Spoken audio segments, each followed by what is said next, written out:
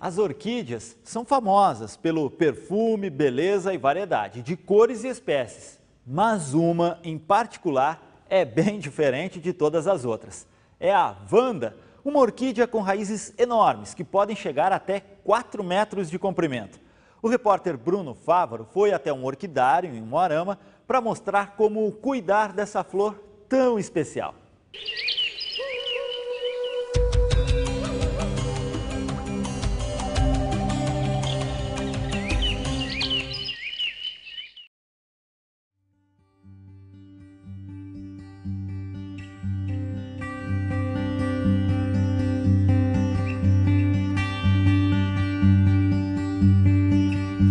A orquídea é uma flor que dispensa elogios e chama a atenção pela mistura das cores. Mas nós vamos conhecer hoje uma espécie de orquídea ainda mais bela, a Vanda, de origem asiática. Ela é cheia de curiosidades. Com o nome de mulher, a Vanda é uma orquídea especial. Vinda da Tailândia, ela é sem dúvida de encher os olhos, não só pela beleza das flores, mas também pelas suas particularidades. Diferente das outras espécies, essa orquídea não é plantada na terra. Ela fica assim, suspensa, e suas raízes crescem à vontade. Daí vem sua nomeação. Segundo os pesquisadores, Vanda significa livre, peregrina.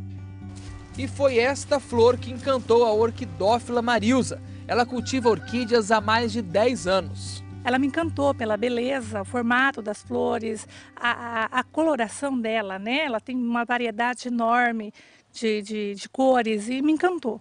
A Vanda floresce três vezes no ano. Cada florada pode durar até 90 dias. Ela não precisa de muita coisa, água e luz, mas tudo na medida certa.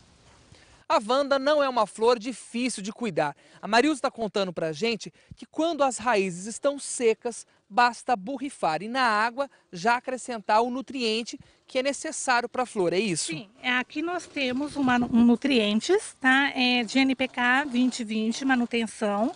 E para você saber se realmente sua planta está precisando de água, é simples, é só você observar que a, a raiz ela fica bem esbranquiçada.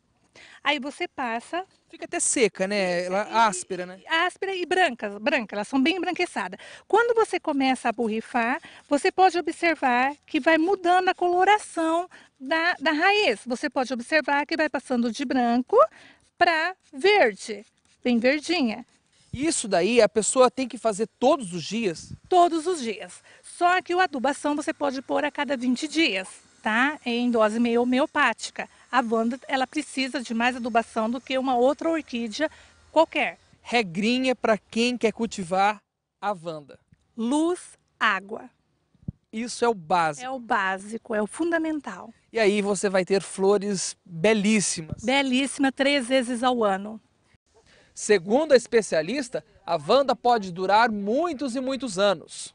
A Wanda ela não tem um ciclo de vida como qualquer outra planta, é nascer, produzir, morrer. Não, a Wanda bem cuidada, ela pode ser eterna, não tem uma durabilidade de vida. No geral, não muda muito o trato com as outras espécies de orquídea. Além de um lugar com sombra, elas precisam de substrato e de pequenas quantidades de água, duas, no máximo três vezes por semana. Mas, independente da espécie, Wanda ou não, as orquídeas são admiráveis. E qualquer que seja o cuidado, vale a pena.